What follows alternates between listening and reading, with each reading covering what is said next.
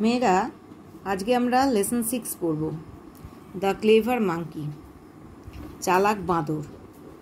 এখানে কতগুলো প্রশ্ন আছে দেখো। টেল ইউর পার্টনার সরি প্রশ্ন না ইন্ডি মানে ডিরেকশানস আছে। Tell your partner the name of a story in which animals R birds appear as characters তোমার বন্ধুকে এমন কোনো গল্পের নাম বলো, যেখানে অ্যানিমালস পশুরা অর বার্ডস পাখিরা বিভিন্ন চরিত্র হিসেবে দেখা দেয়। অর্থাৎ, তোমরা যদি ইসপস ফেবল পড়ে থাকো ইসপের গল্প বা জাতকের গল্প ইত্যাদি, সেই সমস্ত পড়লে সেখানে দেখতে পাবে যে সেখানে পাখিরা অথবা পশুরা মানুষের চরিত্রের মতো ব্যবহার করছে এবং কথা বলছে। Look at the picture below তলায় যে ছবিটা দেয়া আছে সেটা দেখো। Can you guess what the story is all about আন্দাজ করতে পারো কি যে এই গল্পটা কি বিষয়ে? দেখো, এখানে একটা বাঁদরের ছবি দেয়া আছে, আর এখানে তলায় একটা কুমিরের ছবি দেয়া আছে। তাহলে এই গল্পের মূল চরিত্র ধরে নিতে পারি, একটা কুমির এবং একটা বাঁদর, আর আমরা গল্পে যাব। Once upon a time there lived a monkey on the bank of a river একদা এক নদীর তীরে একটি বানর বাস করত।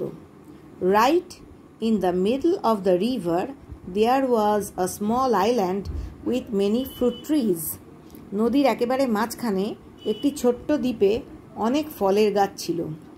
Sweet and juicy fruits grew on the trees গাছে গাছে গাছে কি হতো? অন দ্য ট্রিজ গাছে সবগুলো গাছে মিষ্টি রসালো ফল ফলতো।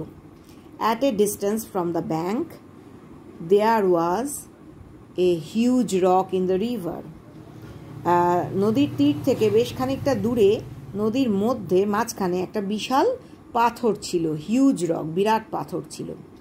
A part of it was above water ওই বিরাট পাথরটার খানিকটা অংশ জলের ওপরে ছিল। One day attracted by the delicious fruits একদিন ওই সুস্বাদু ফলের লোভে the monkey jumped to reach the rock বানরটা লাফ দিল পাথরটাতে পৌঁছানোর জন্য and from there leapt on to the island এবং সেখান থেকে দ্বীপটায় লাফ দিল।